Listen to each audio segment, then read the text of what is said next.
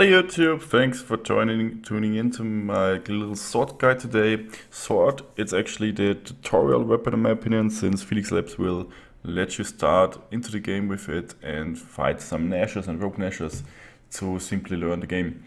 Yeah, what's it about? What's it all about with the sword? It's actually a really, really quick weapon. Also, it allows you to instantaneously dodge in every situation you are facing with your combination of buttons you are clicking, meaning you are actually the, if not the most mo most mobile uh, weapon in the game, besides the various options you got with the plates, with the chain blade.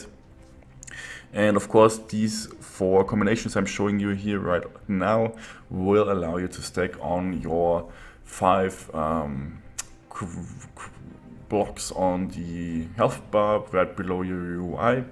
These blocks allow you to actually channel your special attack which then I will show you right in this clip. Before that I simply wanted to show off the dodge mechanic because it's in my opinion the strongest dodge mechanic in the game since you can actually disengage some situations with it like the ball for example you actually would have to kite it out or dodge it some some in some other ways but now we just simply uh, disengaged with it and now we can fight along.